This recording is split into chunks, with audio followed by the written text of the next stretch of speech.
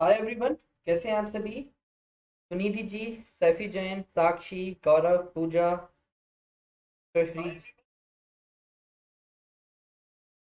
तो स्टार्ट करते हैं दोस्त, हमारा आज का सेशन इम्पोर्टेंट सेशन है, काफ़ी। थोड़ा बहुत नहीं, काफ़ी इम्पोर्टेंट होने वाला है।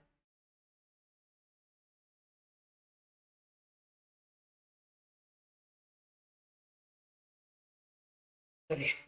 तो welcome to let's crack MP exam this is me Ankur Dubey आप सभी लोगों का, हमारे इंडिया के लार्जेस्ट ई लर्निंग प्लेटफॉर्म पर स्वागत है।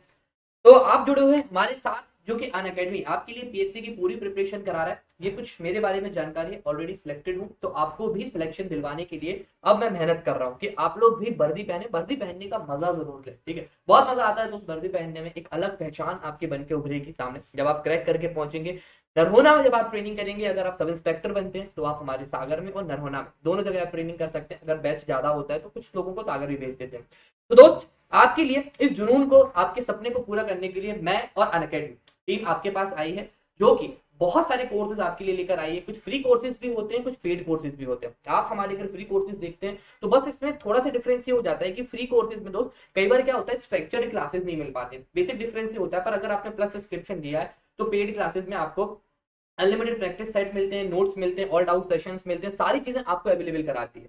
जैसे जैसे एग्ज़ाम पास आता जा रहा है तो अन अकेडमी ने काफ़ी सारे बैचेस आपके लिए लॉन्च करके रखे हुए हैं। तो प्लस सब्सक्रिप्शन जैसे अगर आपने लिया है तो इसका मेनली दोस्त आपको यहाँ पे जो बेनिफिट मिलेगा, वो क्या मिलेगा? टॉप एजुकेटर्स जो भी होते हैं एमपी के, वो सारे के सारे आपके लिए यहाँ पर डिटेल से टीच करेंगे, बहुत सारी लाइव क्लासेस होंगी बायलिंगुअल होंगे। आपको दिक्कत नहीं है कि आपका मीडियम हिंदी है या इंग्लिश है बायलिंगुअल क्लासेस आप उनके अटेंड कर सकते हैं। ट्वेंटी थाउज़ेंड प्लस एमसीक्यूज और इसके साथ साथ जो सबसे अच्छी चीज़ है, वो है हमारी मैगजीन तो मंथली मैगजीन भी आपके लिए मिलेगी। अन अकेडमी ने कुछ अभी कोर्सेज लॉन्च किए हैं। आप ज़रूर उन कोर्सेज का फ़ायदा लीजिए जो जो हमारा ब्रह्मास्त्र सीरीज़ चल रही है। इसमें हम क्या करा रहे हैं? रिवीजन क्लासेस चला रहे हैं। तो आपका लेवल कोई भी हो, अगर आप ग्रास रूट लेवल पर हैं या आपका मिडिल या फिर एक दो नंबर से पीएससी रह गया, हर किसी के लिए हमने सेपरेट बैच यहाँ पे ब्रह्मास्त्र के थ्रू लॉन्च किए जो कि 150 आवर्स के फ्री रिवीजन कैंप है। प्लीज़ इसको ज़रूर एनरोल करिएगा। जितने भी एजुकेटर्स मिलेंगे अलग अलग लेवल पर आपको टीच करते हुए मिलेंगे। तो ये कुछ हमारी चैंपियनशिप है। इसमें देख सकते हैं 10 से 12 बजे तक का एक ये भी एक स्लॉट होता है। तो यहाँ पर भी आप एनरोल करिए। अगर आप ग्रास रूट लेवल पर है तो भी आपके लिए यहाँ पर हमारी टीम बैच लेकर आई हुई है। इसके साथ साथ अगर आपने पहले से प्रिपरेशन कर रखी है, ठीक है, कुछ मार्क्स से आपका नहीं हुआ है मेंस की प्रिपरेशन करनी है, एक अलग बैच हमारी टीम आपके लिए लेकर आई, संपूर्ण ज्ञान वाला उसके बाद टेन मंथ का फाउंडेशन बैच भी है। जो प्री और दोनों को कवर करेगा आपको। सो so, ये सारे बैचेस आपको मिलेंगे सब्सक्रिप्शन तो अगर आपने सब्सक्रिप्शन नहीं लिया है तो सबसे पहले एप्लीकेशन को डाउनलोड करिए जाइए गूगल प्ले स्टोर पर। उसको डाउनलोड करने के बाद आपको प्लस पे क्लिक करना है और फिर गैर सब्सक्रिप्शन बटन दबाना है। गैर सब्सक्रिप्शन के बाद कुछ इस तरह से पेज खुलेगा। एक साल दो साल का आप सब्सक्रिप्शन ले सकते हो।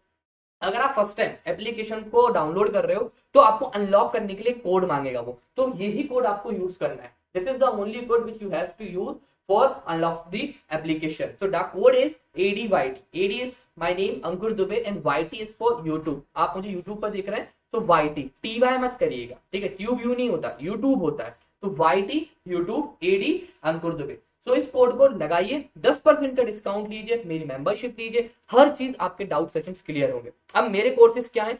तो सामने आपका चल रहा है पचहत्तर दिन का फ्री पूरा कंप्लीट करा के दूँगा।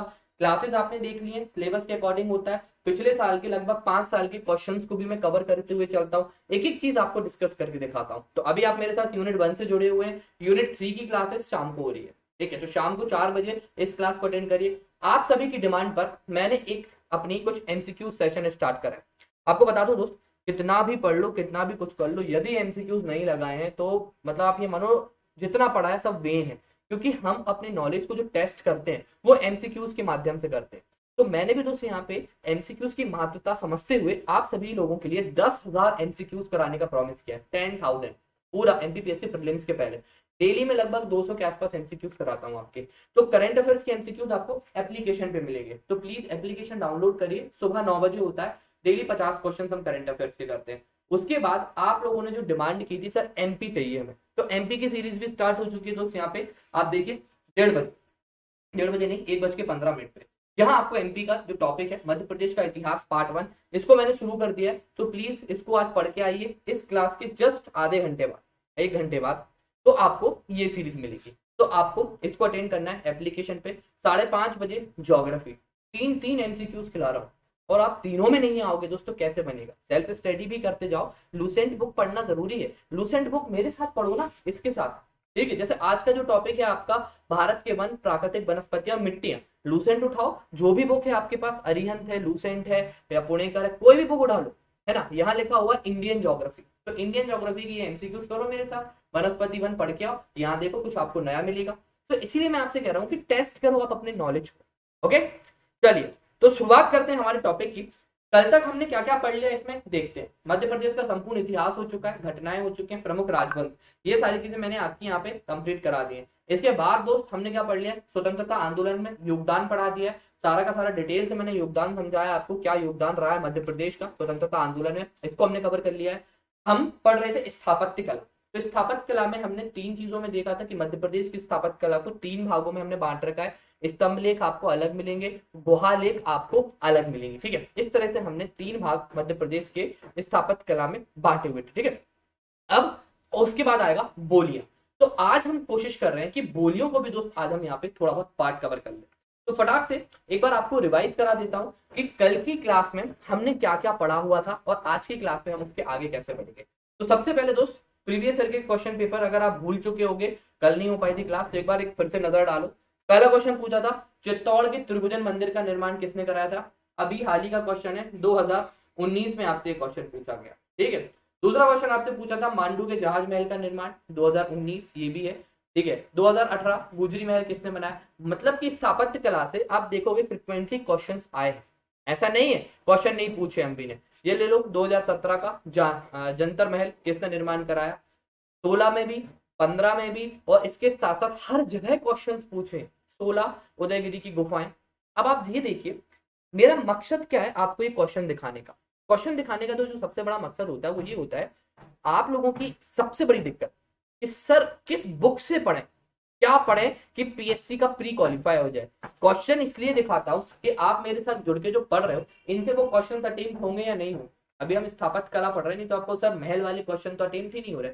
स्थापत कला पढ़ रहे हैं। जब हम यहाँ पे राजा महाराजाओं के और जब मध्य प्रदेश के, ठीक है, प्रमुख स्थलों में पढ़ेंगे तो उसमें हम आपको वो भी कवर करा देंगे। गुफाएँ का क्वेश्चन 2016 कौन सा पर्यटन स्थल? मूर्ति कला का तीर्थ 2016 इस तरह से back to back question MPPSC ने आपसे पूछे, ठीक है?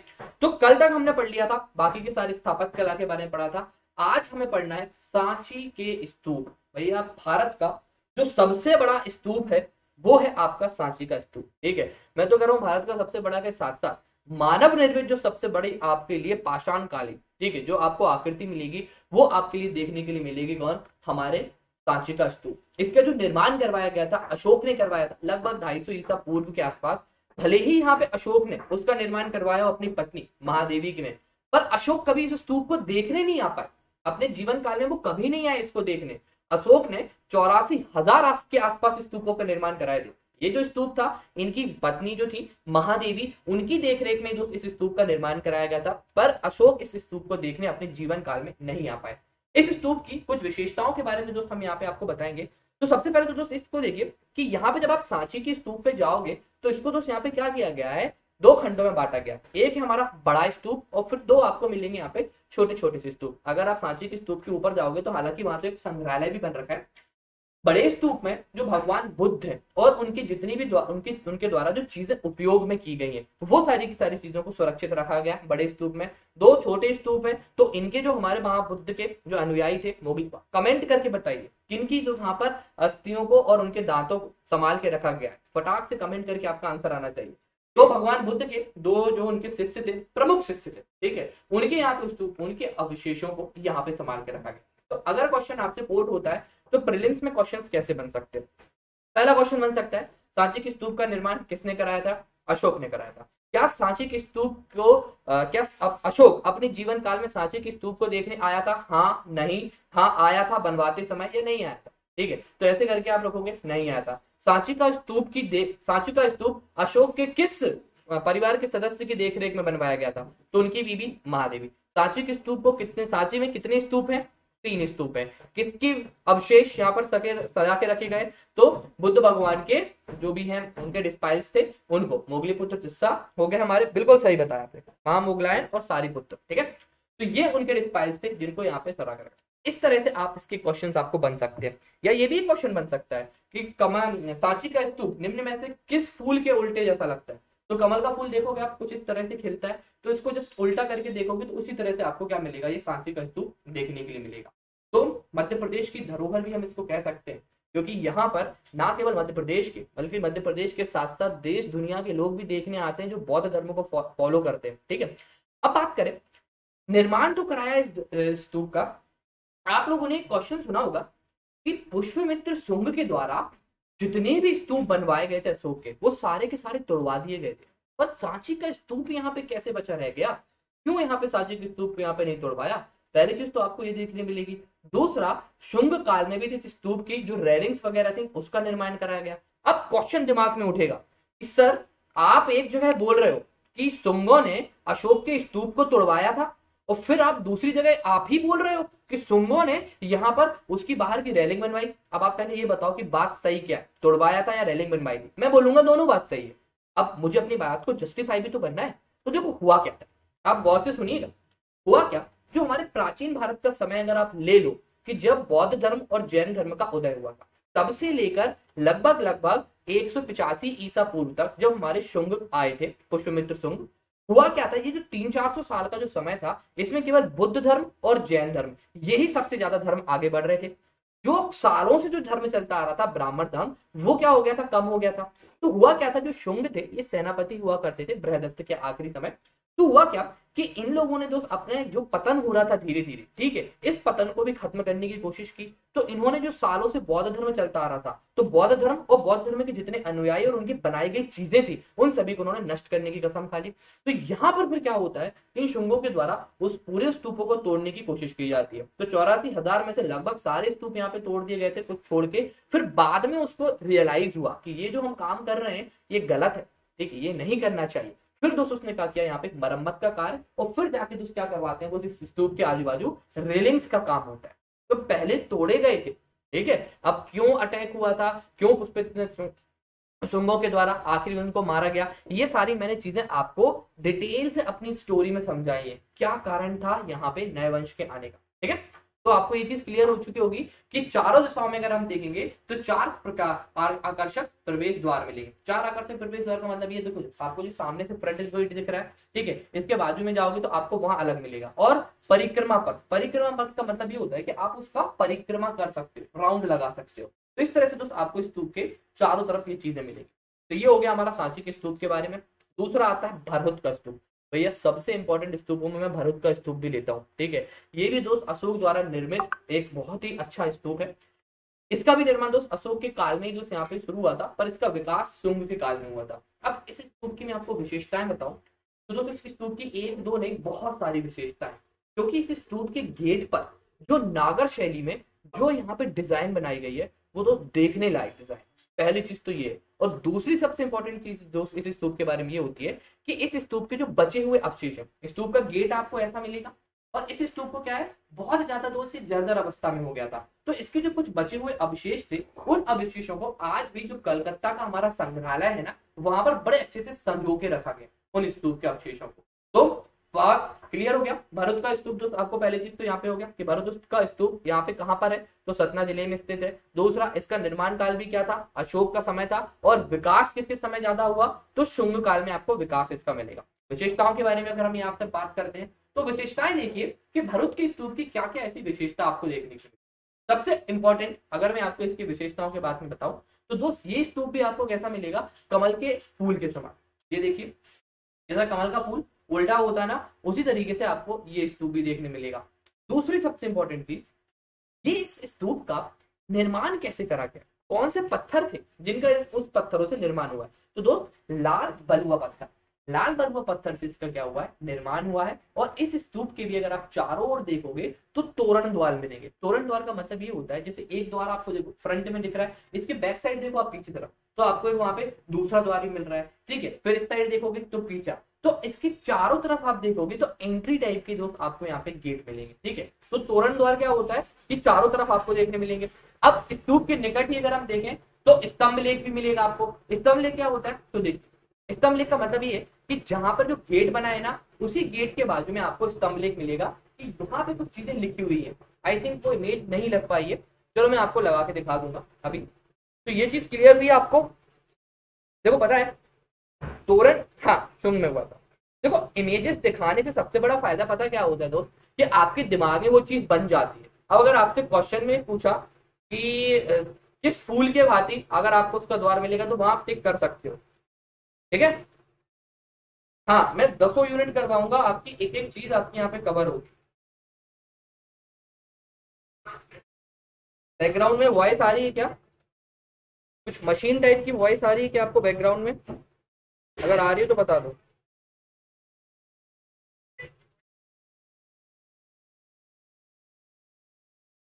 नहीं आ रही ना? आ रही है। नहीं आ रही ना? चलो थैंक यू क्योंकि मेरे घर के बाजू में कंस्ट्रक्शन का काम हो रहा है तो आज उनके घर में ढलाई होनी है। तो वो मशीन चल रही है घर के बाहर। एक मिनट दीजिए गेट लॉक कर देता हूँ।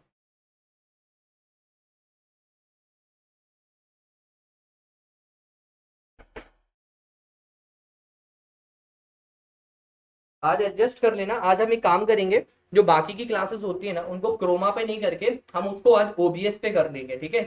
तो रूम से कर लेंगे आज बाकी की जो हमारी एमसीक्यूज की क्लासेस है ना, उनके लिए, ठीक है? एमसीक्यूज की क्लासेस हम वहाँ करेंगे आज, ठीक है? यहाँ से नहीं करेंगे। तो मैं आपको क्या बता रहा था, भरूच के स्तूप के बारे में कि चारों ओर जो तोरण द्वार आपको मिलेंगे, ठीक है? तोरण द्वार मतलब कि जो एंट्री पॉइंट होगा, वो दोस्त आपके लिए यहाँ पे मिलेगा भरूच के स्तूप में। तो देखिए, एक एंट्री पॉइंट यहाँ दिख रहा है, एक पीछे तरफ़ दिख रहा है। इस तरीके से दोस्त, यहाँ पे क्या बनाए गए हैं? एंट्री पॉइंट भरूच के स्तूप में बनाए गए ठीक है, सर? कुछ विशेषताएँ तो हो गई। और क्या विशेषता आपके लिए इसके मिलेगी? तो जैसा मैं आपसे कह रहा था कि इस स्तूप में दोस्त, आपको क्या मिलेगा? पत्थरों पर नक्काशियाँ की गई हैं। और चारों ओर दोस्त, इसको वेदिका वेदिकाएँ का मतलब होता है जिसमें दोस्त यहाँ पे यज्ञ किए जाते हैं। उनको हम वेदिका बोलते हैं। ठीक है? ये देखो, ये गेट आपको दिखा। इस गेट के देखो बाजू में जो पत्थर बने हुए इन्हें पत्थर में आपको हल्की हल्की सी डिज़ाइन दिख रही होगी। दिख रही है ना? तो ये जो डिज़ाइन है, इस डिज़ाइन को ही दोस्त यहाँ पे नागर शैली में बनाया गया ठीक है? सबसे इंपॉर्टेंट चीज़ आपको यहाँ पे डिज़ाइन मिलेंगे कि जितने भी गेट है ना, उन गेट्स के बाजू में आपको पत्थरों पे बहुत अच्छी तरीके से यहाँ पे नक्काशी की गई। ठीक है? तो एक पॉइंट आपका ये हो गया कि नागर शैली में आपको यहाँ पे जटिल डिज़ाइन देखने के लिए मिलेंगे। इसके साथ साथ जितने भी द्वार है, उन द्वारों में आपको वेदिका है। वेदिका मतलब जिस वेदिका में यज्ञ किया जाता था, वो आपके लिए यहाँ पे देखने मिलेगी। भरत का तथा वेदिका के बीच में एक प्रदक्षिण पथ प्रदक्षिणा पथ मतलब ये होता है, आपने देखा है ना कि यज्ञ करते समय भी हम कई बार उसकी हम परिक्रमा करते हैं। तो प्रदक्षिणा पथ मतलब का ये होता है कि वहाँ पर अंदर आने का एक तरीका जैसे आपने देखा ना कि यज्ञ कुंड होता है, फिर यज्ञ कुंड में जाने के लिए एक अलग से ऐसा रास्ता बना हुआ था उसको तो यहाँ पे प्रदक्षिणा पथ कहते हैं, और फिर उसको एक राउंड सर्किल लगाने का, वो कहलाता है। तो इस तरह से दोस्तों यहाँ पे आपको भारत के जितने भी स्तूप है, वहाँ पर आपको वेदिकाएँ देखने ठीक है? तो ये कुछ भरूच के स्तूप के बारे में थी। कुछ और अगर मैं आपको इंपॉर्टेंट चीज़ें बताऊँ भरूच के स्तूप के बारे में तो दोस्त, एक बार ज़रूर विज़िट करना। आपको और भी बहुत सारी चीज़ें भरूच के स्तूप में वहाँ देखने मिलेगी। तो मैंने आपको तीन भागों में यहाँ पे मध्य प्रदेश की चीज़ें बताई थी। स्तूप देखे थे हमने। स्तूप के बाद हमने स्तंभ लेख देख लिए थे, ठीक है? अब बात करते हैं गुफा चित्र मध्य प्रदेश में 2016 में आपसे क्वेश्चन पूछा था, उदयगिरी की गुफाओं के बारे में। पूछा था ना तो उसी में से एक गुफा आपको यहाँ पे मिलेगी, मध्य प्रदेश में। एक नहीं, दो नहीं, बहुत सारी गुफाएँ ठीक है? एक एक करके हम पढ़ेंगे उदयगिरी की गुफा के बारे में, ठीक है? फिर उसके बाद हम बाघ की गुफाओं के बारे में देखेंगे। क्या इंपॉर्टेंट चीज़ें हैं इन गुफाओं में? तो देखिए, मध्य प्रदेश में जितनी भी दोस्त आपको अधिकतर गुफाएँ मिलेंगी, वो सारी की सारी आपको प्राकृतिक तौर पर उन गुफाओं का जो निर्माण किया गया है, वो पत्थरों को काट कर आपको देखे मिले ठीक है? इस तरह से दोस्त हमारे यहाँ पे गुफाएँ बनाई गई। तो पत्थरों को काटा गया है, जैसे कोई पहाड़ है सपोज़ उसको धीरे धीरे छेनी हथौड़े से काट के फिर जो उसमें क्या किया गया गुफा का निर्माण, जिसमें सबसे प्रसिद्ध और एमपीपीएससी 2016 का क्वेश्चन उदयगिरी की गुफाएँ। तो भैया, उदयगिरी की गुफाएँ जब एमपीपीएससी पूछ रहा है तो अब आपको इंपॉर्टेंट तो है। अब याद करें कि उदयगिरी की गुफा क्या सबसे पहली चीज़ तो जो क्वेश्चन एमपीपीएससी में बन सकता है कि उदयगिरी की गुफाएँ किस ज़िले के अंतर्गत आती हैं। तो विदिशा ज़िले का जो सोनपुरा गाँव है, वहाँ पर आपको उदयगिरी की गुफाएँ मिलेगी। पहली चीज़ तो ये। दूसरी चीज़ मैं ऑलरेडी आपको यहाँ पे बता चुका हूँ कि चट्टानों को काट कर यहाँ पे क्या किया गया है? गुफा निर्माण किया गया है। और सबसे इंपॉर्टेंट चीज़ मैं आपको बता दूँ कि हाथी गुफा अभिलेख में जो उदयगिरी की गुफाओं को कुमारी पर्वत कहा गया मतलब कि यहाँ पे उसका नाम बदल के जो हाथी गुफा अभिलेख है ना, ठीक है खारगिल राजा के समय का, वहाँ पर इसका नाम परिवर्तित करके उसको कुमारी गुफा कहा। अब ये गुफाएँ हमारे लिए ज़रूरी क्यों है? तो दोस्त, इन गुफाओं में शिवलिंग भी मिलेगा आपको। शिवलिंग के साथ साथ इस गुफा में आपको यहाँ वाराह मतलब जो हमारे विष्णु भगवान है, उनकी आकृति भी मिलेगी। और इसके साथ साथ यहाँ पर बहुत सारी आपको गुफाएँ देखने मिलेंगी, जो बड़ी अच्छी गुफाएँ ठीक है? देखिए तो सबसे पहले तो हमने इस टॉपिक में क्या पढ़ा? उदयगिरी की गुफाएँ कहाँ पर है? तो उदयगिरी गुफा कहाँ मिलेंगी? विदिशा की सोनपुरा मिलेंगी। विशेषता क्या है? पत्थरों को काट के यहाँ पे बनाया गया है। अब बात करें, इनकी और ज़्यादा विशेषता कि क्या है उदयगिरी की गुफाओं में और खास? तो सबसे पहली चीज़ दोस्त देखिए कि यहाँ एक नहीं, दो नहीं, अधिकतर आपको 20 गुफाएँ आपको देखने के लिए मिलेंगी। कितनी मिलेंगी? 20 गुफाएँ। तो जिस प्रकार मैंने अभी आपको पहले बताया था कि लाल बलुआ पत्थर का, जैसे कि सांची का स्तूप हो गया, उसके बाद मैंने भरोत का स्तूप बताया था, उसी प्रकार से इन गुफाओं को मैं भी जो बलुआ पत्थर से काटकर इनको अधिकतर बनाया गया। ठीक है? जो पहाड़ होता था, वह अधिकतर पहाड़ आपको बलुआ पत्थर से मिलेंगे। अब बलुआ पत्थर से पहाड़ तो मिल गए अधिकतर आपको देखने के लिए। ठीक है? वहाँ पे आपको पत्थर की भी नक्काशी मिल गई। अब दोस्त, एक सबसे इंपॉर्टेंट चीज़ यहाँ पे क्या आएगी कि इन गुफाओं में आखिर बनाया क्या? क्यों ये हमारे लिए सबसे इंपॉर्टेंट है? तो इसलिए दोस्त, इस इमेज को देख। ये देख। इस प्रकार से यहाँ पर आपको कुछ मूर्तियाँ बनी हुई मिलेंगी, ठीक है? जो कि एक बहुत ही, है ना, उत्कृष्ट लेवल का या उत्कृष्ट तौर पर वस्तुकला का सबसे बड़ा आपको उदाहरण देखने मिले गुप्तकालीन है, अधिकतर आपको ये गुफाएँ तो उदयगिरी की जितनी भी जो गुफाएँ हैं, यहाँ पर पत्थरों को काटकर कुछ इस प्रकार से मूर्तियाँ बनाई गई। दिख रहा है ना आपको तो एक सबसे बड़ी विशेषता इनकी ये भी होगी कि पत्थर को काट देखो दोस्त, मैं आपको बताऊँ कि अगर हमें कुछ कोई ऐसे आप भी देखते होगे, आप लोग कभी घर पे गणेश जी बनाने की कोशिश करते होगे तो हम क्या करते हैं पहले? मिट्टी को लेकर आते हैं, मिट्टी को फिर हम उसको रिवोल्व करके फिर उसको बनाते हैं। अब आप ये सोचिए कि सपोज़ ये पूरी की पूरी पत्थर की, पूरा का पत्थर है, बलुआ पत्थर का एक बड़ा सा टुकड़ा है। अब आपको इसको ही काट के पूरा एक शेप देना है मूर्ति का। तो ये बहुत टफ हो जाता है। छोटा पत्थर हो या अगर हमें ज्वाइंट करना हो, तब तो हम बना लेंगे। पर इतने बड़े विशाल पत्थर को काट के, आप लोगों को सुनकर बहुत हैरानी होगी कि कई बार क्या होता है, कुछ लोगों का तो जीवन ही निकल जाता है, कुछ लोगों की पीढ़ियाँ निकल जाती थी। इस प्रकार की गुफाओं बनाते बनाते, मूर्तियों को बनाते बनाते। तो इस तरह के जो जो वस्तुकला का जो आपको उदाहरण मिलेगा, वो आपके लिए सबसे बड़ा यहाँ देखने मिलेगा। और जो मैंने आपसे बोली थी कि उदयगिरी की गुफाओं में जो सबसे इंपॉर्टेंट चीज़ आपको देखने की मिलेगी, वो मिलेगी आपको यहाँ पे शिवलिंग।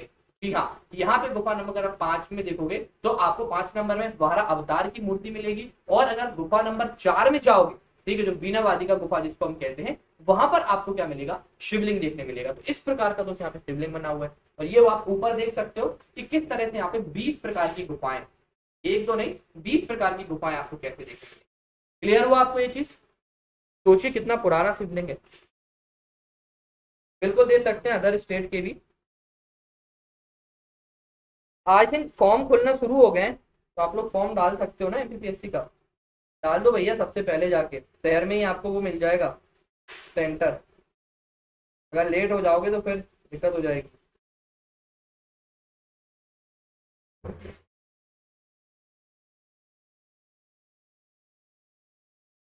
डन डाल दिया फॉर्म आप लोगों ने।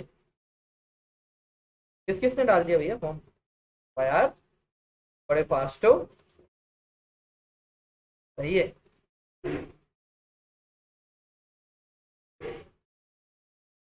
कुमारी पर्वत कहा गया सुषमा जी हाथी गुम्फा अभिलेख खारवियर राजा से संबंधित था। उड़ीसा के पास मिलेंगे, चेदी वंश से संबंधित राजा हुआ करते थे वो। ठीक है? तो ये था उदयपुरी की गुफाएँ। पहले चीज़ तो मैंने आपको बताया, यहाँ काट की बहुत अच्छी नक्काशी की गई है। ये ऊपर की इमेज में आपको क्लियर हो रहा होगा, बीस प्रकार की गुफाएँ कैसी हैं। इसमें चार नंबर की और पाँच नंबर की गुफा याद करना। एमपीपीएससी में अगर ऐसा पूछ लिया कि उदयगिरी की गुफा, उदयगिरी की किस नंबर की गुफा में शिवलिंग की मूर्ति स्थापित है? तो चार। पाँचवें नंबर में पूछे तो बारह अवतार को दिखाया गया। बारह अवतार किसके थे दोस्त? विष्णु जी के थे। दिखा देता हूँ, विष्णु जी की भी कौन सी मूर्ति यहाँ पे आपको देखने मिलेगी। तो इस प्रकार की दोस्त देखते है ना, इस तरह से जो गुफा नंबर पाँच है ना, जो बारह अवतार की जो मूर्ति है, वो इस तरह से आपको देखने मिलेगी। ठीक है? तो विष्णु भगवान की ये मूर्ति हो गई, पाँच नंबर की गुफा हो गई तेरह नंबर की गुफा में भी दोस्तों आपको शेषनाग भगवान विष्णु की स्थापत कला देखने मिलेगा। तो ये देखिए तो ये सारे के सारे जो वस्तु कला है, क्या सबसे बड़ा नमूना आपको देखने मिलेगा? तो शिवलिंग, विष्णु भगवान। इसके साथ साथ एक और चीज़ दोस्त आपको यहाँ मिली है, गंगा और यमुना के लघु आकृतियों में दोस्त यहाँ पे दिखाया गया तो देखिए कुछ इस तरह से, एक और मूर्ति भी है, गंगा और यमुना की भी दोस्त आपको लघु आकृतियाँ दिखाई देखने के लिए मिलेंगी। तो हर चीज़ को, जो उस समय के जो प्रमुख देवी देवता होते थे, उन सभी को यहाँ पर कवर किया गया विष्णु जी को, क्योंकि गुप्त काल में मंदिर बनना शुरू हो गए थे, ठीक है, सरस्वती जी हो गई लक्ष्मी जी हो गई इन सभी देवी देवताओं के का भी उदय हुआ था ना, भगवान की वाइफ भी तो आई थी तो वाइफ कब थी गुप्त काल में आएँगी। तो उनको भी धीरे धीरे दोस्तों यहाँ पे क्या हुआ? बनाना शुरू हो गया। तो चार चीज़ें यहाँ मुख्य तौर पर मिलती है। शिव जी की मूर्ति, विष्णु जी की मूर्ति, गंगा यमुना जी की यहाँ पे कलाकृति, और इसके साथ साथ अमृत मंथन का दृश्य। अमृत मंथन का दृश्य दोस्त देखिए, जैसे कि बीच में यहाँ पर इस इमेज में आपको दिख रहा होगा, एक साइड देवता है और एक साइड आपको कौन दिख रहे हैं यहाँ पे दूसरे, ऊपर वाली इमेज में। तो देखिए, बीच में से उनको खींचने टाइप का ऐसा दृश्य दिखेगा। तो अमृत मंथन जो हुआ था, जिसमें आपको सभी लोग जानते ही हैं, क्या हुआ था? तो इस टाइप के जो दृश्य थे उस समय के, वो यहाँ आपको सबसे ज़्यादा देखने के लिए मिलेंगे। उदयगिरी के बाद जो अगली गुफा आती है, भैया भीम बेटका की गुफा, ये भी रायसेन के अब्दुल्ला गंज में आपके लिए मिलेगी। जिस प्रकार मैंने आपको भीम बेट जिस प्रकार मैंने उदयगिरी के बारे में बताया, उस तरह से भीम बेटका की गुफा भी बहुत इंपॉर्टेंट है। इस गुफा के बारे में बताऊँ दोस्त इसमें क्या है, एक चित्र आपको इस गुफा का ऐसा मिलेगा कि दो पत्थरों को दोस्त आपस में एक दूसरे से टिका के रखा गया। अगर अगर आप लोग गए होंगे, आपकी सिटी में होगी तो एक बार ज़रूर देखना रायसेन के पास जाके। तो इसकी विशेषता में क्या कि चट्टानों को एक दूसरे पर यहाँ पे इस तरह से रखा गया है, ये सबसे अच्छा उदाहरण मिलेगा आपको इस गुफा का। तो देखिए, एक पत्थर इस तरफ़ से टिका हुआ है, दूसरा पत्थर आपको उस तरफ़ से टिका हुआ दिख रहा होगा। तो एक आपको ये गुफा मिलेगी। दूसरा भीमबेटका की गुफाओं की दोस्तों सबसे पहले खोज की गई थी, वो एक बहुत बड़े पुरातत्व शास्त्री थे आर्कियोलॉजिस्ट थे डॉक्टर विष्णु श्रीधर वो डॉक्टर विष्णु श्रीधर ने क्या किया था? इस एरिया में उदयगिरी की भीमबेटका की गुफाओं की खोज की थी, ठीक है? अब बात करते हैं भीमबेटका की गुफाओं में और ऐसी क्या खास चीज़ है जो हमें एमबीपीएससी पूछ सकता है? तो मैंने आपको जो उदयगिरी के बारे में बताया कि लगभग 20 के आसपास गुफाएँ थी। यहाँ 500 के आसपास आपको गुफाएँ मिलेंगी। और ये जो गुफा समूह है, सबसे बड़ा है। आप बोलोगे, सर 500 के आसपास कैसे गुफा हो सकती है? तो एक दो स्थान नहीं, पूरे के पूरे पर्वत में ही जो आपको गुफाएँ गुफाएँ मिलेंगी। ठीक है? अब ऐसा नहीं, कुछ छोटी गुफा भी है, कुछ बड़ी भी है तो सबसे बड़ा जो गुफा समूह आपको मिलेगा, वो आपको कौन सा मिलेगा यहाँ पर देखने? भीम बेट का 500 से ज़्यादा गुफाएँ। और इन गुफाओं के साथ साथ यहाँ पे बहुत सारे चित्र बनाए गए।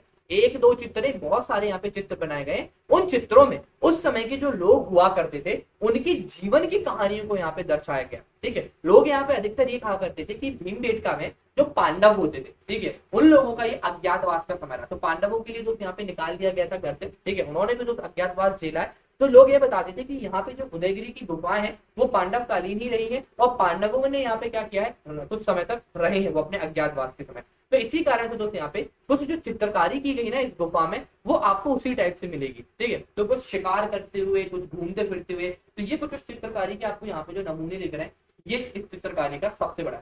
अब हुआ क्या है कि 500 गुफा है लगभग लगभग 500 अब एक गुफा में एक प्रकार का चित्र तो बनाएँगे नहीं तो यहाँ पर अलग अलग प्रकार के आपको अलग अलग चित्र मिलेंगे। तो उनको हमने यहाँ पे क्या किया, चित्रों के आधार पर भी अलग अलग हमने इनको नाम दे दिए। तो जैसे कि एक नन्न भट्टारिका, एक आपको अलग गुफा का नाम मिल जाएगा। इसके अलावा दो तीन और नाम जो है, वो यहाँ पे आपको प्रसिद्ध मिलेंगे। जैसे दूसरा नाम में अगर आपको बताऊँ तो मेदालिनी गुफा, ठीक है, वाराहगिरी की गुफा हो गई, बड़ा रंग महल हो गई। यहाँ पर आपको अलग अलग प्रकार के चित्र और अलग अलग नक्काशी आपको देखने मिलेगी। बात करें जैसे मेदालिनी की गुफा। तो ये देखोगे आप दो तो इसके चित्र यूरोप के बारह हज़ार से आठ हज़ार वर्ष पूर्व शैल चित्र माने गए। ठीक है? तो सोचो, इतने साल पुराने यहाँ पे शैल चित्र बने हुए डेट मीन्स की यहाँ पर पुरा पाषाण काल का आदमी भी रहता होगा ना? पुरा पाषाण मध्य पाषाण क्या होता है मैंने आपको समाया। तो यहाँ पर इस चित्र की मिले दूसरा बात करूँ वारागिरी की कैल गुफा तो यहाँ पे भी तो सबको विशालकार वाराह के आधार पर किया गया, क्योंकि यहाँ पर उनकी बहुत बड़ी मूर्ति मिली गई थी। इसके अलावा जो बड़ा रंग महल ये सबसे इंपॉर्टेंट है और सबसे ज़्यादा दोस्त यहाँ पे लोग इसी को देखने जाते हैं। यहाँ पे क्या बनाया गया है? कि एक यहाँ पे चढ़ता, एक पेड़ पर चढ़ता हुआ एक मानव का हल्का सा दृश्य बनाया गया है। ये तो दोस्त आर्टिफिशियल आपको मिलेगी। इसमें क्या कर रहा है कि जो पेड़ पर वो चढ़ रहा है ना तो वो मधुमक्खी के छत्ते को तोड़ने की कोशिश कर रहा है। अभी मत कर रहे तोड़ने। दोस्त, ऐसी जगह काटेंगे कि ठंड के ठंड के मौसम में मतलब आप ये मान के चलो सूझ जाओगे। तो ये चीज़ है। तो यहाँ पे क्या कर रहा है? टोकनी पीछे रखी हुई पीठ पे और मधुमक्खी के छत्ते को तोड़ने की कोशिश कर रहा है कि बढ़िया मीठा शहद हम खाएँगे, सोमरस खाएँगे। तो इसमें आपको एक ये चीज़ देखने मिलेगी। तो इस प्रकार से हमने क्या करा है कि जो चित्रकारी की गई है गुफा में और नक्काशी के आधार पर हमने इसको अलग अलग नामों से यहाँ पे बांट रखे मधुमक्खी ने तो काटा है ना? नहीं काटा। चौली जी, अभिषेक, रुचि, प्रीति, दया जी, सुषमा जी, कभी एक आध बार शिकार किए गए हो मधुमक्खी के द्वारा? करे गए एमसीक्यूज रुचि जी, मेरे सारे अन अकेडमी के एप्लीकेशन पे होते हैं। अभी तीन एमसीक्यूज के सेशन है। सुबह नौ बजे करंट अफेयर एक बज के पंद्रह मिनट पे मध्य प्रदेश के, और उसके साथ साथ साढ़े पाँच बजे ज्योग्राफी टॉपिक वाइज टॉपिक पढ़ाता हूँ, कुछ भी नहीं पढ़ाता हूँ। आज मध्य प्रदेश का, कौन सा टॉपिक है? मध्य प्रदेश का आपको इतिहास पढ़ाना है। ठीक है, तीन दिन ये चलेगा। ज्योग्राफी में कल परियोजनाएँ वाला था, आज मिट्टी वगैरह का क्वेश्चन है आपका। ठीक है तो टॉपिक आपके पास पहले ही दे देता हूँ मैं कि आपको क्या पढ़ना है। वो पढ़ के और एमसीक्यूज करो। और वहाँ आना बहुत ज़रूरी है। अगर वो क्लास नहीं कर रहे हो ना अटेंड तो तो फिर आप गड़बड़ कर रहे हो। मुझे भी काटा था यार बचपन में ही। अब मैं तो उस घटना के बारे में आपसे ज़िक्र भी नहीं कर सकता।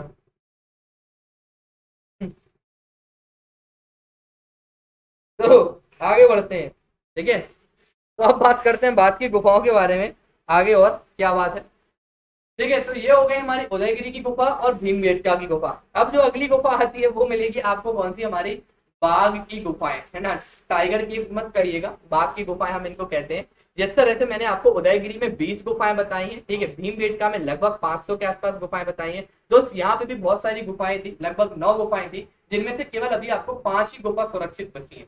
बाकी की जितनी भी गुफाएँ थी दोस्त किसी तरह से वो या तो मुंद गई हैं, या फिर दोस्त वो क्या है कि बहुत जर्जर अवस्था में होंगे तो पाँच गुफाएँ आपको मिलेंगी। इन गुफाओं का संबंध जो आपको मिलेगा, वो आपको किससे मिलेगा? बौद्ध धर्म से संबंधित आपको मिलेगा। तो इस प्रकार से कुछ यहाँ पे इंदौर के पास, आपको झाबुआ मार्ग पे बाघ की गुफाएँ आपके लिए देखने मिलेंगे। विंध्याचल पर्वत जो पहाड़ी है, वहाँ पर दोस्त आपको ये बाघ की गुफाएँ देखने मिलेंगी। क्वेश्चन ऐसे आ सकता है, बाघ की गुफाएँ कहाँ पर है? तो आप यहाँ पे टिक कर सकते हो। दूसरा आपसे क्वेश्चन ये पूछ सकता है कि किस धर्म से संबंधित है? तो बौद्ध धर्म टिक कर सकते हो। संख्या कितनी है गुफाओं की? तो यहाँ पे आप लिख सकते हो कि नौ गुफाएँ थी। पाँच गुफाएँ इनमें से क्या बची हुई है? शेष बची है। इस तरह से यहाँ पे आप क्वेश्चन बाकी गुफाओं के अटेम्प्ट कर सकते हो। और क्या खास बात है, इन बाकी गुफाओं में। तो दोस्त, देखो, यहाँ पे भी कुछ चित्रकारी मिली थी, पर इतनी अच्छी चित्रकारी नहीं मिली थी जितनी अच्छी यहाँ पे आप देख रहे हो। इसकी जो खोजकर्ता थे, उनका नाम था डोंगर फ़िश डोंगर फ़िश ने यहाँ पे खोजा। तो यहाँ पे चित्रकारी तो देखने मिल रही थी उनको। तो यहाँ क्या हुआ, दो बहुत प्रमुख चित्रकार है एक का नाम था मुकुलडे ठीक है, और दूसरे का नाम था एल एन भावसार। और इनके साथ एक और सहयोगी थे, मिर्ज़ा इस्माइल करके। इन्होंने क्या किया? जो बाघ की गुफाओं में जो चित्र बने हुए थे तो आधे वो मिट गए थे, कुछ बहुत ज़्यादा खराब हो गए थे तो इन्होंने क्या किया कि उन चित्रों को देखा। चित्रकार क्या होता है, जो उस चित्र को अगर जर्जर अवस्था में भी है तो उसको तो देख के समझने की बहुत कोशिश करा। तो इन हमारे भारत के प्रमुख चित्रकारों ने क्या किया? उन चित्रों को पढ़ा और उन चित्रों को पढ़ने के बाद कुछ इस तरह से नक्काशियाँ बनाई। उन्होंने खुद बताया कि यहाँ पे जो बाकी गुफा में जो लोग रहा करते होंगे, जो थे, वो कुछ इस प्रकार से ही चित्र बनाते होंगे। तो उन्होंने इन चित्रों को फिर से जीवित कर दिया। ठीक है तो ये हमारे भारत के कुछ प्रमुख चित्रकार रहे। प्लीज़ इनके नाम भी याद रखिएगा। तो खोजकर्ता कौन थे? डोंगर फ़ील्ड थे। अठारह अठारह में इन्होंने खोजी थी। ठीक है, राष्ट्रीय स्मारक उन्नीस सौ इक्यानवे में घोषित किया गया। चित्रकार कौन हो गए? मुकुल हो गए। उसके उनके साथ साथ हमारे दो और हो गए भापसार और इस्माइल। अब इसके बाद बाकी गुफाओं में कुछ और इंपॉर्टेंट चीज़ों की बात करें। तो भैया, बाघ की गुफाएँ की पहले चीज़ तो ये स्थिति देख लो। ऐसे पत्थर काट के ये बनाई गई है बाघ की गुफाएँ। दूसरा सबसे इंपॉर्टेंट चीज़ क्या है? नौ गुफाएँ थी, पाँच इनमें से आपको बनी हुई है। ये गुफाएँ भी तो लाल बलुआ पत्थर को काट के बनाई गई ठीक है तो लाल बलुआ पत्थर से निर्मित तीनों गुफाएँ मिलेंगी। उदयगिरी भी, भरूच भी, और इसके साथ साथ हमारी बाकी गुफा। तो देखिए, इस प्रकार से जो पत्थर को यहाँ पे काटा गया था, ये चट्टान दिख रही है। ऐसे से काट के जो बनाया गया, सोचिए। कितनी मेहनत लगती होगी। आज अगर आपसे हम इस तरह की गुफाएँ गुफाएँ तो ठीक है, आज हम गणेश जी बनाने की भी प्रयास करते हैं तो बना नहीं पाते, पर यहाँ तो इन्होंने पूरी इतनी अच्छी गुफा बनाई। ओके तो ये था हमारा कुछ बाकी गुफाओं के बारे में। एक दो पॉइंट्स और हैं, दोस्त, यहाँ पे देख लीजिए कि सातवानों के, है ना, द्वारा जो चैत किए गए थे, वो मिलेंगे बाकी गुफाओं में, रंगीन भित्ति और इस तरह से चार पाँच चीज़ें बाकी गुफाओं में इंपॉर्टेंट है। ठीक है? अब इस गुफा में, उस गुफा के बाद सबसे इंपॉर्टेंट आती है, वो आती है भरतहरी की गुफा। भैया, एक जैन के पास आपको भरतहरी की गुफा देखने की मिलेगी। यहाँ पर भी जो गुफाओं की संख्या है, वो नौ है। पर यहाँ पे भी पाँच ही आपको गुफा मिलेगी। राजा भरतहरी थे, ठीक है? उनके सम्मान में परमार वंश के शासकों ने इन गुफाओं का निर्माण किया था। यहाँ पर भी आपको रंगीन चित्रकारी देखने मिलेगी। सबसे इंपॉर्टेंट चीज़ दोस्त, यहाँ पे क्या मिलेगी कि यहाँ पर जब लोग जाते हैं आप देखें ना एंट्री गुफा नंबर एक। इतनी भीड़ आपको यहाँ पे देखने मिलेगी इस गुफा को देखने की। हालाँकि अब तो नहीं मिलेगी कोविड का समय है। अब तो एक नया सिस्टम आ गया अगर जैसे अगर आप भगवान के यहाँ पे उज्जैन के महाकाल मंदिर देखना चाहते हो ना तो आपको एक दिन पहले वहाँ पे रजिस्ट्रेशन कराना पड़ेगा। आप तत्काल नहीं देख सकते। तो ऑनलाइन होने लगा आजकल वो रजिस्ट्रेशन तो जब कभी भी जाओ, अगर आप उज्जैन तो प्लीज़ एक बार रजिस्ट्रेशन पहले करा लेना। तो कुछ ऐसे ही यहाँ पे भी मिलेगा आपको। ठीक है? तो ये भरतहरी की गुफाएँ तीन चार चीज़ इसमें याद रखना। राजा भरतहरी के स्मारक में परमार शासकों ने इनको बनवाया था। उज्जैन में इसके पास आपको भरतहरी की गुफाएँ मिलेंगी। और यहाँ पर भी दोस्त नौ गुफाएँ ठीक है? जिनमें से यहाँ पे पाँच गुफा आपको सबसे प्रमुख तौर पर मिलेगी। अब इन गुफाओं की जो खास बात क्या है, इस चीज़ के बारे में इस गुफा की एक सबसे खास बात तो ये है कि यहाँ पर नाव जो संप्रदाय था ना, नाग संप्रदाय, उनके साधुओं का स्थान रहा है। तो जितने भी जो साधु रहे नाथ संप्रदाय थे, वो इन गुफाओं में दोस्त क्या करते थे, रहा करते थे। और इसी में से दोस्त यहाँ पे एक मूर्ति भी प्राप्त हुई है, ठीक है, जो कि नागर शैली में बनी हुई थी गोपी चंद जिसको कहा तो ये कुछ इस तरह से दोस्त यहाँ पे एक नागर शैली की एक मूर्ति दोस्त आपको यहाँ पे तो ये इस भरतहरी की गुफा की सबसे खास और अच्छी बात, ठीक है? तो ये था हमारा मध्य प्रदेश का कुछ स्थापत्य कला, जिसमें मैंने आपको गुफाओं के बारे में बताया, स्तूप के बारे में बताया, और स्तंभ के बारे में बताया, ठीक है? तीन। अब आप बोलोगे, सर, एक दो चीज़ें छूट रही है। ठीक है? रूपनाथ का स्तंभ छूट रहा है सारो मारो का छूट रहा है। तो दोस्त, वही चीज़ मैं आपको बताना चाहता हूँ। देखो, अब आप लोग पढ़ाई कैसे करते हो हम कैसे करते हैं पढ़ाई? मैंने आपको यहाँ पे स्थापत्य कला पढ़ाया अब आपका काम क्या है इस चीज़ के बारे में सुनो। हम यहाँ पे एक, दो, तीन, हमने ये तीनों टॉपिक्स यहाँ पे कवर कर लिए, घटनाएँ कवर कर लिए, योगदान कवर कर लिए और स्थापत्य कला कवर कर अब आपकी जो मेन काम है, वो क्या काम है? एमसीक्यूज की बुक उठाओ। कोई भी बुक उठाओ लूसेंट उठाओ पुणेकर उठाओ, कोई भी, जिसमें टॉपिक वाइज एमसीक्यूज दिए सीधा टॉपिक खोलो, मध्य प्रदेश की स्थापत्य कला, सीधा टॉपिक खोलो। अब उन क्वेश्चंस को लगाना शुरू कर दो। तो यहाँ आपको क्या है? एक बेसिक मतलब लगभग साठ, सत्तर, अस्सी परसेंट मैंने आपको यहाँ पे कवर करा दिया कुछ और जो चीज़ें रिमेनिंग छूटी होंगी, वो आपकी एमसीक्यूज से कवर हो जाएँगी।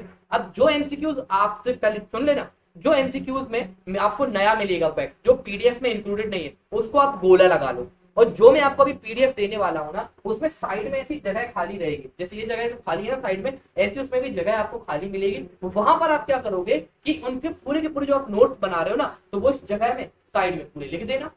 तो इस तरह से मैं आपको नोट्स बनाने के लिए अलग से ही पूरा कंटेंट दे रहा हूँ। ठीक है? तो अब आपका काम क्या है? स्थापत कला के बारे में, बाकी के एमसीक्यूज लगाना। क्लियर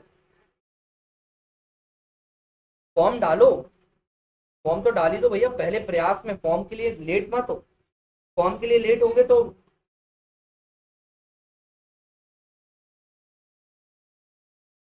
और अगर आपका एमसीक्यूज लगाने का मन नहीं है ना तो मैं कवर करा दूँगा। जैसा मैं एमसीक्यूज चला रहा हूँ ना, वैसे ही कर लो। उसी को फॉलो कर दो चलो तो भी आपकी सारी चीज़ें कवर हो जाएँगी। ठीक है? तो स्थापत कला का मैंने ऑलमोस्ट आपको सारी चीज़ें बताई। अब बात करते हैं जनजातियों एवं बोलियाँ। फिर उसके बाद हम पढ़ेंगे लोक कला, लोक साहित्य, साहित्यकार, धार्मिक और पर्यटन स्थल करके। इस तरह से हम पूरे के पूरे इस टॉपिक को खत्म कर देंगे। तो भैया, बोलियों की अगर हम बात करें, मध्य प्रदेश में बोलियाँ तो शुरुआत करते हैं मध्य प्रदेश में बोलियों की। कहा से? पहले क्वेश्चन देखो, आपसे पूछे क्या है। 2016 का क्वेश्चन था, भाषाई आधार पर सर्वप्रथम किस राज्य का गठन किया गया? क्वेश्चन आपसे ये पूछा गया, ठीक है? दूसरा मैंने एक क्वेश्चन आपके लिए अलग से रखा हुआ है, वो क्यों रखा है मैं आपको बता रहा हूँ। तो 2016 का क्वेश्चन देख लिया आपने, भाषाई आधार पर पूछा गया।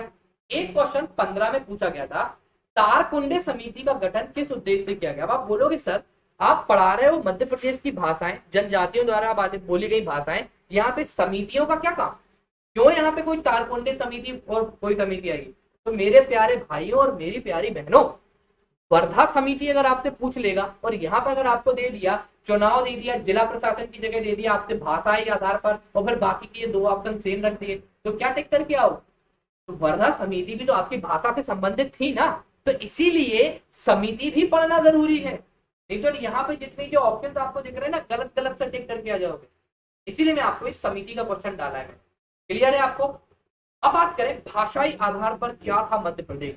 तो भैया बोलियों और भाषाओं की अगर मैं आपसे सबसे पहले बात करूँ तो इसकी शुरुआत हमारे यहाँ पे कब से हो जाती है? 1953 से। ठीक है? 2015 में भी ये क्वेश्चन पूछा गया था कि भारत पे, भारत में सबसे पहले भाषाई आधार पर किस राज्य का गठन किया गया था? शायद चौदह या पंद्रह में एमपीपीएससी ने क्वेश्चन पूछा है। ठीक है? आंध्र प्रदेश जिसको हम बोलते हैं। तो सबसे पहले क्या हुआ? राजभाषा अधिनियम उन्नीस आया। ठीक है? उसके तहत यहाँ पे क्या किया गया था? राजभाषा नियम बनाया तो पहले सबसे पहले चीज़ याद रखिए, राजभाषा अधिनियम आया था। राजभाषा अधिनियम ने इसके पहले भी जो क्या हुआ था? मध्य प्रदेश राज्य की भाषा अधिनियम आया था 1957 में। राजभाषा अधिनियम 1957 के तहत क्या किया गया? राजभाषा नियम बनाने के यहाँ पे रखा गया। अब क्या होता है कि सबसे पहले जब मध्य प्रदेश नहीं था, तब क्या हुआ करता था? ठीक है, तब हम सभी जानते हैं कि हमारा जो पूरा का पूरा जो भारत था, वो state A state B state C और स्टेट डी में बटा हुआ था।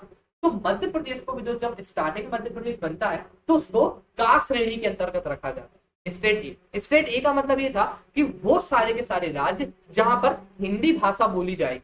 ठीक है, हिंदी भाषा, उन सारे स्टेट को क्या रखा गया था? का में रखा गया था। मैं आपको बात बता रहा हूँ कि ये जो अधिनियम आया था, उसके पहले की बात बता रहा हूँ। आपको बात की नहीं, उसके पहले क्या हो रहा था? ठीक है तो सबसे पहले जब मध्य प्रदेश का गठन हुआ 1956 में, उस समय क्या हुआ था? मध्य प्रदेश का राज्य में, का श्रेणी में रखा गया था।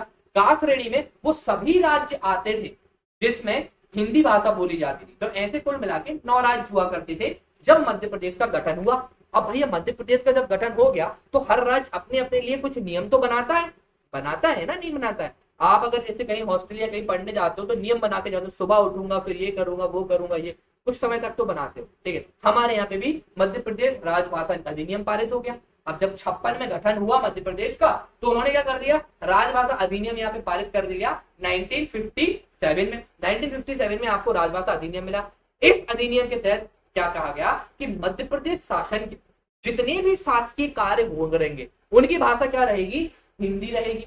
ठीक है? तो सबसे पहले क्या हुआ? मध्य प्रदेश का गठन हुआ छप्पन में। गठन होने के बाद तुरंत एक हमारा कौन सा अधिनियम आता है? मध्य प्रदेश राजभाषा अधिनियम। इस राजभाषा अधिनियम के तहत क्या किया गया था? मध्य प्रदेश ने ये आवंट किया कि जितने भी हमारे शासकीय कार्य होंगे, उन सभी की भाषा क्या रहेगी? यहाँ पे हिंदी रहेगी, ठीक है? अब क्या होता है इसके बाद? राजभाषा अधिनियम आता है, ठीक है? राजभाषा अधिनियम के तहत क्या होता है कि इसके तहत दोस्तों यहाँ पे जितने भी दोस्त जो राजभाषाएँ होती है, उनके संबंध में नियम बनाए जाएँगे। अब आप बोलोगे, सर, मध्य प्रदेश राजभाषा अधिनियम 57 में आया और राजभाषा अधिनियम उन्नीस में आया। ये चीज़ मुझे समझ में नहीं आई।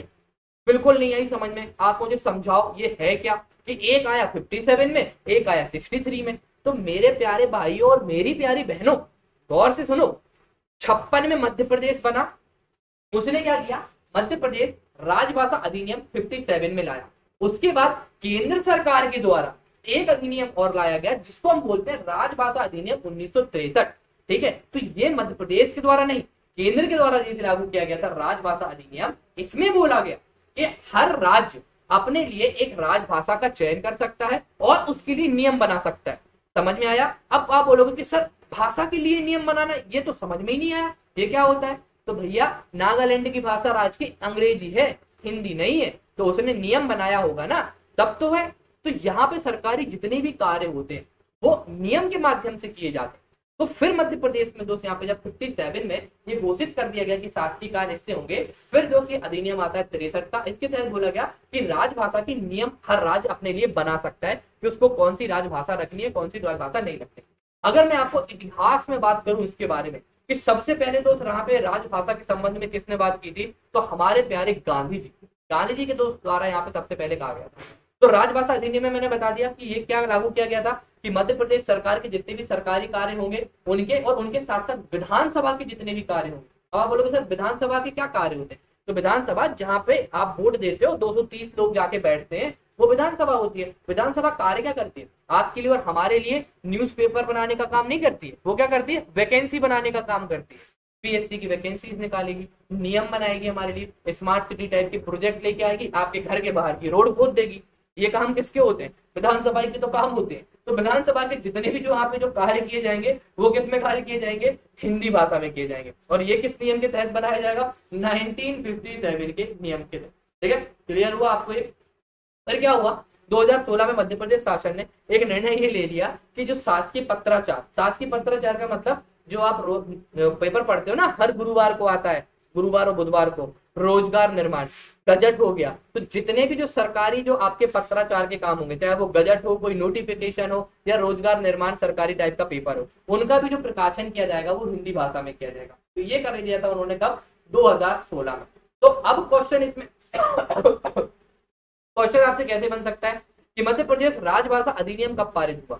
तो आपको ये याद रखना है 1957 में राज्य प्रदेश राजभाषा अधिनियम पारित किया ठीक है? अब बात करें कुछ भाषाओं और बोलियों के बारे में। ये क्वेश्चन एनपीपीएससी में एक बार पूछा जा चुका है कि 14 सितंबर को हिंदी दिवस मनाया जाता है।